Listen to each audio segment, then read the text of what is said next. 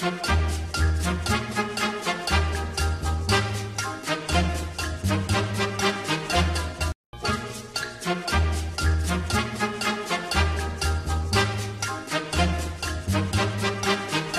त ठिकै रहेछ।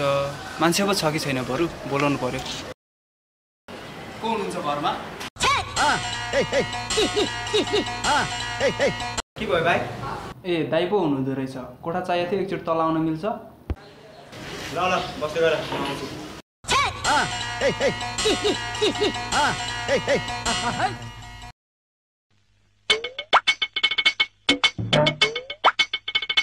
अँ के भनेको भाइ?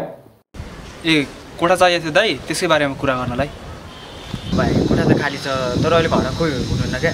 त्यस भए बेलुकातिर आउने थियो। ए हुन्छ नि त दाइ अब घरमा कोही छैन अरे अब हुन्छ म बेलुकातिर भेट्छु नि तपाईँलाई।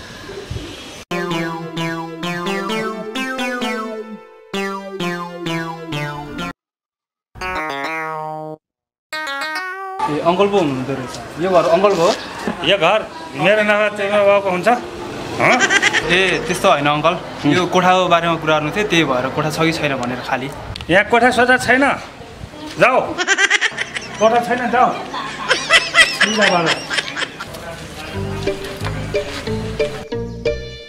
घरमा को हुनुहुन्छ होला?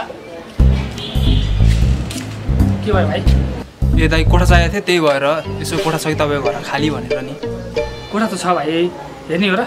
हेरौँ न त दाइ छ भने। लाउनु त हेर एकचोटि कोठा हेर।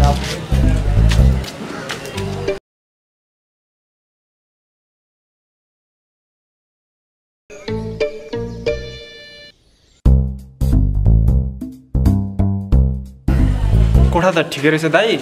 अब भाडा चाहिँ कति हो नि बरु? अब तिमीलाई चाहिँ भाइ अरू ठाउँमा गएको भए यो कोठालाई पाँच हजार पर्छ। अब मेरोमा चाहिँ यो कोठाको जम्मा पर्छ पाँच सय। पाँच सय? कोठा त सस्तै हो दाइ। तर कोठामा त दुलै दुलो छ नि त। मुसा नाच्छ जस्तो छ नि त कोठामा त। अनि भाइ पाँच सय कोठामा मुसा ननाचेर के सनी लियोनी आएर नाच्छ त?